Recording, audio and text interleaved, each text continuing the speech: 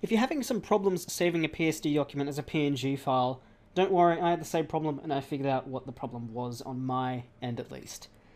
Go up to, uh, first open the document up, and then go to the image panel up here. Then go to mode. Now make sure it's on, uh, your mode is set to RGB. See, mine's CMYK at the moment, and that's where my problem was.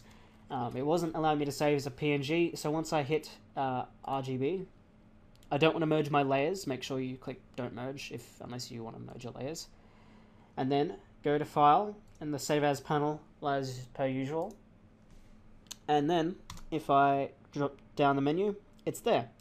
So if I reverse what I just did, if I go back to image mode and CMYK, I don't merge the layers, okay. If I go file, save as, and drop down, notice they're not there. So if that's what you're facing, this might be the issue for you. Um, it was the issue for me. So I'll put that back to what it was. Image, mode, RGB, don't merge. And now it's all good. I'll be able to save it as a PNG. So that's what my uh, solution is for this problem. It fixed mine. If it doesn't fix yours, leave a comment down below and I'll have a look for you. Or send me the PSD document and I'll have a look.